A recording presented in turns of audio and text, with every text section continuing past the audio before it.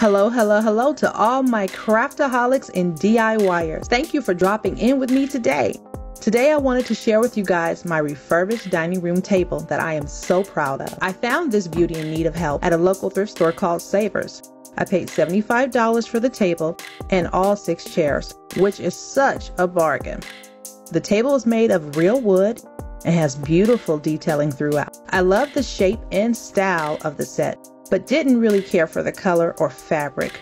After purchasing the table, I went literally right across the street to Lowe's and picked up all of the supplies to get started on my new project. And with some tender loving care, I was able to make this outdated, dingy table set look amazing. The new look is more modernized with a touch of French bedazzle, as I like to call it. This table set turned out more beautiful than I ever expected. Now, the way I went about painting this piece was a little bit unorthodox, so I thought I would share my process with you just in case you wanted to give this project a go. There are three products that I chose to use during this transformation of this dining room table. For my paint color, I chose to go with the Rust-Oleum's Painter's Touch was my number one choice. Now, like I said, this process was a little bit unorthodox, being that the Rust-Oleum Painter's Touch that I chose in silver is normally for metals. But I decided to go with it anyway because I really felt I would enjoy the outcome.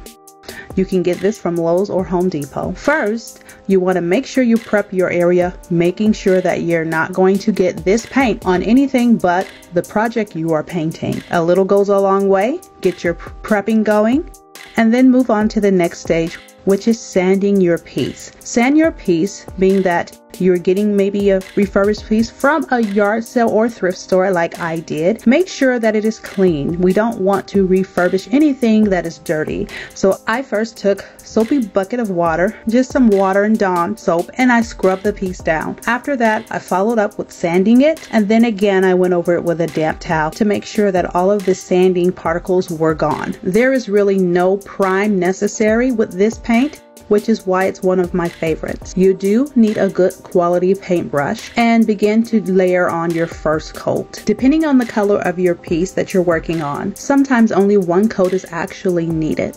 Now don't be alarmed, this paint smell is ferocious and it does linger for quite a while. So please wear a mask if you are sensitive or make sure you have well ventilated areas you're working in. Once the first layer of paint has dried completely, I would say maybe five to six hours. Follow it up with your gloss to protect the surface. So make sure that you protect your new investment by covering it with a nice gloss finish. Once you have done this, you can go ahead and put your piece in its designated station and enjoy your new refurbished furniture.